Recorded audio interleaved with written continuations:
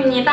오늘은 제가 안쪽, 허벅지 안쪽 살을 뺄 수 있는 운동법에 대해서 알려드릴 건데요. 지금 시작부터 제가 다리를 이렇게 붙이고 있는 게 보이시죠? 제가 있는 힘을 다해서 이 안쪽 허벅지와 엉덩이 힘을 놓지 않고 있어요. 그래서 많은 분들이 안쪽 허벅지를 어떻게 사용하는지에 대해서도 기본이 기초가 안 잡혀 있는 분들이 있는데 가장 쉽게 생각을 하면 허벅지 안쪽 근육도 내 하지가 다 연결되어 있는 거랑 비슷해요. 엉덩이 근육을 쓰기 위해서 제가 뒤꿈치부터 허벅지, 그 다음에 엉덩이, 복부까지 다 언급을 시켜드리는데 허벅지 안쪽도 마찬가지예요. 발을 먼저 모은 상태에서 무릎이랑 발을 동시에 45도 정도 벌려줄 거예요. 그 상태가 되면은 그냥 다리를 이렇게 벌려서 안쪽 구멍이 보일 거예요. 이 공간이 나는 게 아니라 공간을 내가 없애면서 발을 벌려보는 거예요. 지금 이거랑 이거랑 다르죠. 그래서 내가 거울을 보면서 빈 공간이 최대한 나오지 않도록 조여줘야 되는데 이때 가장 주의할 점은 제가 발을 벌리게 한 이유도 모았을 때 이렇게 하시는 분들이 있어요. 절대 무릎을 서로 만나게 하는 느낌이 아니라 마치 뒤에서 엉덩이랑 허벅지가 서로 꽉 조여진다는 느낌으로 접근을 하셔야 돼요. 그래서 발을 조금 오픈했을 때 훨씬 수월하게 뒤쪽 엉덩이와 허벅지 안쪽을 사용할 수가 있거든요. 그래서 여기서 내가 천천히 컨트롤, 조절을 하면서 무릎을 조금만 접어볼게요. 이렇게. 이때 머리 끝부터 뒤꿈치 서로 만나는 부분까지 일직선으로 센터 라인이 만나야 돼요. 자, 그 상태에서 제가 무릎을 필 건데 무릎을 핀다고 생각하지 마시고 이 정수리를 천장으로 끌어올릴 거예요. 누가 천장에서 나를 끌어올리는 느낌으로 이렇게 올라올 거거든요.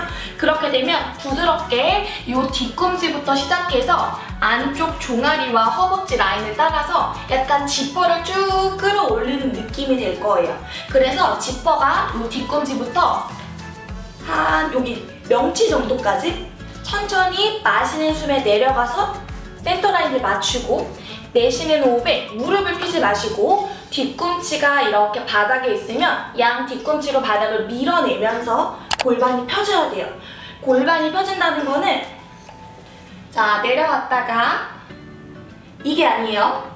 골반이 완전히 정면을 바라봐서 이 골반이 각도가 없게끔 이렇게 펴주셔야 돼요. 그러면 천천히 연습을 했을 때 어? 지퍼 끌어올리는 느낌? 조금 올라오네 하는 느낌이 날 거예요. 이거를 반복해서 저랑 10번을 해볼게요.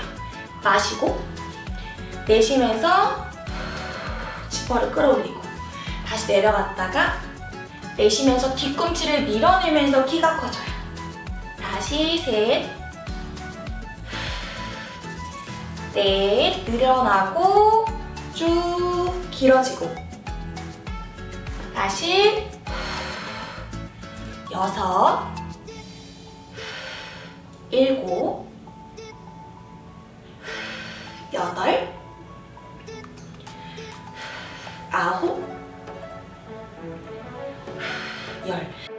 자, 여기서 발을 제가 조금 더 벌려볼 거예요. wide 스쿼트 비슷하게 갈 건데 발이 중요해요. 발 포지션을 이렇게 하면 엉덩이를 조금 더 쓸 수 있는데 조금 더 각도를 열어주면 안쪽 허벅지에 포커스를 많이 줄 수가 있어요. 그래서 제가 이 상태에서 발을 조금 더 벌려볼게요. 자, wide 스쿼트보다는 스탠스가 좀 좁아요. 허벅지 안쪽 유연성이 떨어지시는 분들은 많이 못 내려가거든요. 초반에는 스탠스를 너무 넓게 하지 않을 거예요. 그래서 이 상태에서 이만큼만 접어보는 거예요. 그냥 조금만. 이때 내가 무릎을 앞으로 접는 분들도 있고 옆으로 접는 분들도 있고 엉덩이를 뒤로 빼는 분들도 있을 텐데 이 상태에서 무릎을 그냥 활짝 열어주세요.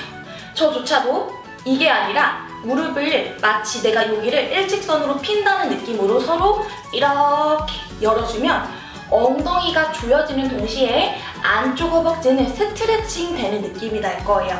스트레칭 되는 느낌이 난다면 더 이상 내가 주저앉는 느낌이 아니라 허벅지 안쪽을 늘리면서 조금씩 내려갈 수 있어요. 이런 느낌이에요. 다시 일어날 때는 아까 발을 붙인 것처럼 뒤꿈치를 밀어내고 똑같아요. 지퍼를 끌어올리는 거예요. 다시 무릎을 양 옆으로 벌려줄 건데 내려가다가 멈춰서 내가 내려봤을 때 발가락보다 무릎이 앞쪽에 있는 경우가 70% 이상이에요. 그래서 이 상태에서 잠시 내가 무릎을 다시 벌려주고 세팅을 다시 한 상태에서 내려가 주셔야 돼요. 그러면 깊이 내려가는 것보다 조금만 내려가고 무릎을 활짝 여는 게 잘 되시는 분들이 안쪽 허벅지를 더 타겟으로 운동을 많이 할 수 있어요. 다시 up. 마찬가지로 10번 들어가 볼 거예요. 마시고 내쉬면서 많이 내려가는 게 중요하지 않고 무릎을 많이 오픈시킨 다음에 엉덩이 힘으로 같이 끌어올리는 게 중요해요. 다섯 하나 더 탭을 들자면 여기서 무릎을 모으지, 말고 일어나는 순간에 무릎을 더 벌리세요. 그러면 저절로 일어나는 동작이 나올 거예요. 벌려주고 up 벌려주고 up 한번 더 그대로 유지 자 무릎을 더 계속 벌리는 연습을 이쯤에서 해주셔야 돼요. 내쉬면서 후, 하나 살짝 모아주고 다시 후, 벌리기 다시 셋 넷, 다섯, 키는 변하지 않아요. 여섯, 일곱, 여덟, 아홉, 열 그대로 돌아왔어요. 이번엔 제가 그대로 왼쪽으로 약간 이동을 해볼 거예요. 이렇게. 여기서 내려갔다가 돌아올 거예요. 그러면 내려가면서 스트레칭이 되지만 밀어내면서 순간적인 힘으로 안쪽 힘을 많이 사용하셔야 돼요. 10번 가보도록 할게요. 시작! 하나, 둘, 셋, 넷, 마찬가지로 많이 앉는 것보다 무릎을 많이 열어주는 게 중요해요. 여섯, 일곱, 여덟, 지퍼 계속 끌어올리기. 아홉, 열에서 유지할게요. 자, 여기서 까치발을 한쪽 들고 키는 변하지 않아요. 유지한 상태에서 어, 그대로 무릎을 더 벌려주세요. 자, 무릎을 벌리면서 10번 정도 다시 앉을 거거든요. 깊이 앉는 게 아니라 무릎을 열어주면 알아서 내가 내려가게 될 거예요. 셋, 넷, 다섯, 여섯, 일곱, 여덟, 아홉, 열, 엉덩이 높이, 어깨 높이 유지하고 반대쪽 똑같아요. 하나 엉덩이가 주저앉는 느낌보다 무릎을 열어주는 느낌 다섯, 여섯, 일곱, 여덟, 아홉, 열 자, 잠시 버텨볼 거예요. 10초 9, 8, 7, 6, 5, 4, 3, 2, 1 땡! 잘하셨어요. 그대로 일어나서 반대쪽으로 넘어가 볼게요. 방법은 똑같아요. 깊숙이 벌리고 내려갔다가 점프. 다시 스트레칭 했다가 돌아올 때 지퍼 끌어올리기. 셋, 넷, 다섯, 여섯. 여기서 내려가면서 뒤꿈치를 많이 밀어내 주셔야 돼요. 일곱, 여덟, 아홉, 열에서 유지. 자, 마찬가지로 이번에는 반대쪽부터 까치발을 들고 무릎을 벌리면서 둘, 셋, 넷, 다섯, 여섯, 일곱, 여덟, 아홉, 열, 반대쪽 까치발. 무릎을 여는 연습이 돼야 돼요. 셋, 넷, 다섯, 여섯, 일곱, 여덟, 아홉, 열 그대로 까치발을 들고 잠시 홀드할 거예요. 가능한 범위만큼 더 오랫동안 홀드하셔도 되고요. 한 뒤꿈치 내리고 한쪽, 반대쪽도 내리고 그대로 무릎을 쭉 펴볼게요. 그러면 여기가 막 불타는 느낌이 나실 거예요.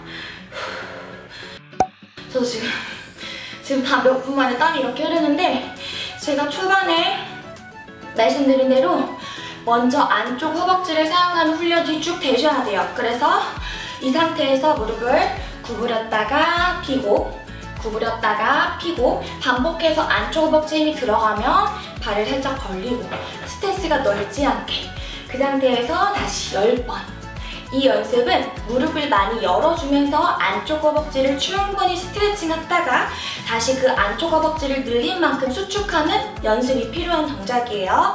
자, 그 다음에 어느 정도 이 동작이 훈련이 되면 거울을 보고 중심을 잡으면서 내려갔다가 내딛은 발로 바닥을 밀어내면서 돌아오는 거예요. 돌아오는 게 끝이 아니라 돌아오면서 다시 안쪽 허벅지를 꽉 조이셔야 돼요. 이거를 반복해서 10번 멈춘 상태에서 까치발을 들고 다시 10번 반대쪽 10번 이렇게 하면은 내가 안쪽 허벅지를 타겟으로 한 다섯 가지 동작을 응용해서 사용하는 법이 돼, 사용하는 프로그램이 되는 거거든요. 그래서 제 영상을 보고 처음부터 처음부터 그냥 그냥 바로바로 다음 단계로 가는 게 아니라 어, 나는 아직 느낌이 안 오는데 하시면 그 앞쪽에 머물러서 반복해서 먼저 연습을 해주세요.